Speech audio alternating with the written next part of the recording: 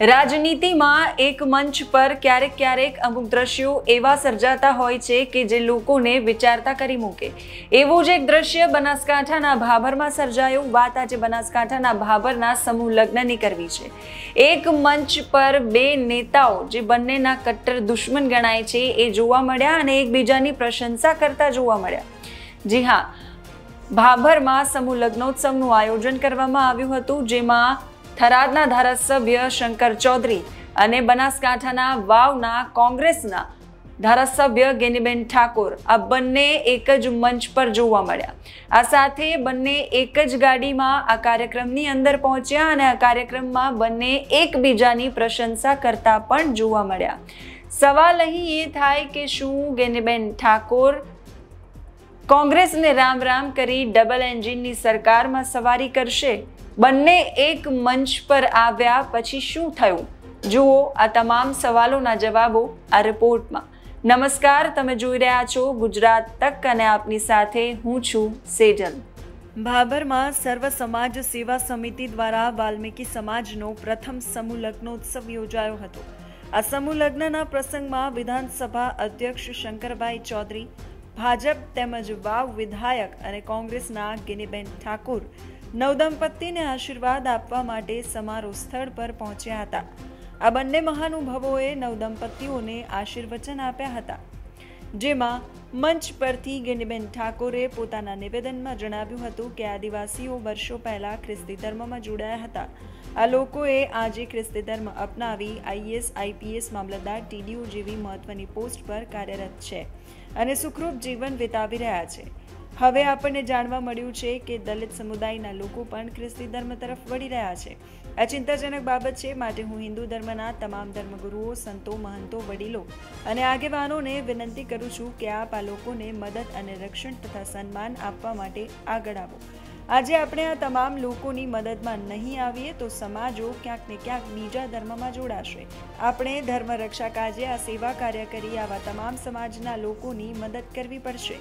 આ પ્રસંગે હાજર રહેલા ગુજરાત વિધાનસભાના અધ્યક્ષ અને થરાદના ભાજપના ધારાસભ્ય શંકરભાઈ ચૌધરીએ પણ નવદંપતીઓને આશીર્વાદ આપ્યા હતા. સાથે આ કાર્યક્રમમાં તેમણે જણાવ્યું હતું કે પ્રધાનમંત્રીએ પણ વાલ્મીકી સમાજના આગેવાનોના પગ ધોયા છે. ધર્મ એ જીવન પદ્ધતિ છે, આપણી સંસ્કૃતિ એ ઋષિ સંસ્કૃતિ છે. વાલ્મીકી સમાજ બીજાનું ભલું કરવાવાળો સમાજ છે. આ તમામ લોકો શિક્ષણ તરફ આગળ વધે તે જરૂરી છે, તે માટે યોગ્ય કાર્ય કરવાની તેઓએ ખાતરી પણ આપી. જો કે બનાસકાંઠાના ભાભર ખાતે વાલ્મીકી સમાજના સમૂહ લગ્નમાં વાવ તેમજ થરાદના ધારાસભ્યો સક્રિય રાજકારણમાં એકબીજાના શત્રુ હોવા છતાં એક જ કારમાં સાથે આવતા તેમજ એકબીજાના વખાણ કરતા લોકોમાં રાજકીય ક્ષેત્રે કંઈક નવા જૂની થશે તેવા તર્ક વિતર્ક થયા છે. આ અગાઉ પણ ગેનીબેને નડાબેટ ખાતે ભાજપ સરકારના વિકાસ કાર્યોની ભરપેટ પ્રશંસા કરી હતી. રાજકારણમાં ગીતા જ્ઞાન પ્રમાણે પરિવર્તન સંસારનો નિયમ છે. એ યુક્તિ મુજબ નેતાઓ પોતપોતાના વિચારો તેમજ વિચાર સરણી બદલતા આવ્યા છે. ત્યારે એક જ કારમાં ભિન્ન ભિન્ન વિચારસરણીવાળા બનાસકાંઠાના ભાજપના તેમજ કોંગ્રેસના બે દિગ્ગજ નેતાઓની વાલ્મીકી સમાજમાં એક જ મંચ પર હાજરી નવા રાજકીય સમીકરણો સર્જી શકે છે. કેમ કે બનાસકાંઠામાં પોતાના નિવેદનબાજી અને આક્રમકતા માટે જાણીતા અને ઠાકોર સમાજના મહિલા અગ્રણી નેતા તેમજ વાવમાં બીજી વખત ચૂંટાયેલા ધારાસભ્ય ગેનીબેન ઠાકોર અને શંકરભાઈ. આમ સક્રિય રાજકારણમાં એકબીજાના કટ્ટર દુશ્મન માનવામાં આવે છે. પૂર્વ મંત્રી એવા શંકરભાઈ ચૌધરી બે હજાર સત્તરમાં કોંગ્રેસના ગેનીબેન સામે પરાજિત થયા હતા. જો કે વર્ષ બે હજાર બાવીસમાં શંકરભાઈ વાવથી ચૂંટણી લડશે તેવું માનવામાં આવી રહ્યું હતું. પરંતુ નવાઈ વચ્ચે તેઓએ થરાદ બેઠક પરથી ચૂંટણી લડી હતી. શંકરભાઈની જીત માટે કેન્દ્રીય ગૃહમંત્રી અમિત શાહે થરાદવાસીઓને વચન પણ આપ્યું હતું કે તમે થરાદથી શંકરભાઈને જીતાડીને મોકલો. તેમને સન્માનજનક સ્થાન આપવાની જવાબદારી ભાજપની છે. અને બે હજાર બાવીસની વિધાનસભા ચૂંટણીમાં થરાદ બેઠક પરથી ભાજપના શંકરભાઈ ચૌધરીની જીત થતાં ગૃહમંત્રી અમિતભાઈ શાહે પોતાનું વચન નિભાવી શંકરભાઈ ચૌધરીને ગુજરાત વિધાનસભાના અધ્યક્ષ બનાવ્યા છે.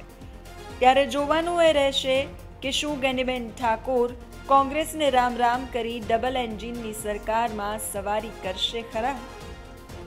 બનાસકાંઠાથી તનેશ પરમારનો અહેવાલ ગુજરાત તક. ખેર, અમારા રિપોર્ટમાં અત્યારે બસ આટલું જ. આપને અમારો આ વીડિયો પસંદ આવ્યો હોય તો લાઈક અને શેર કરવાનું ન ભૂલશો. આ સાથે જ ગુજરાતના રાજકારણ અને દેશ દુનિયાના તમામ મહત્વના સમાચારોથી માહિતગાર રહેવા માટે આપ જોડાયેલા રહો ગુજરાત તક સાથે.